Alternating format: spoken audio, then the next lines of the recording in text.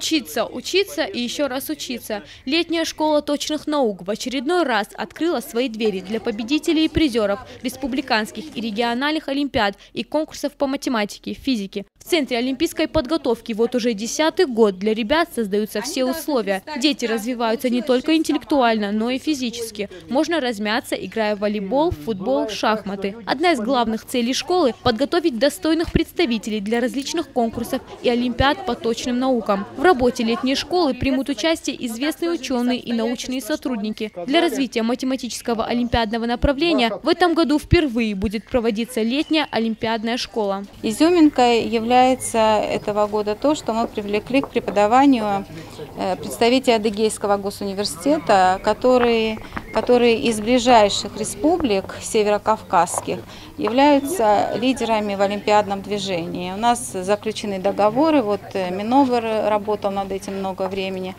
заключены договоры о длительной работе. То есть с сентября у нас начнутся дистанционное обучение школьников э, повсеместно по всей республике, всех районах по программе этого проекта.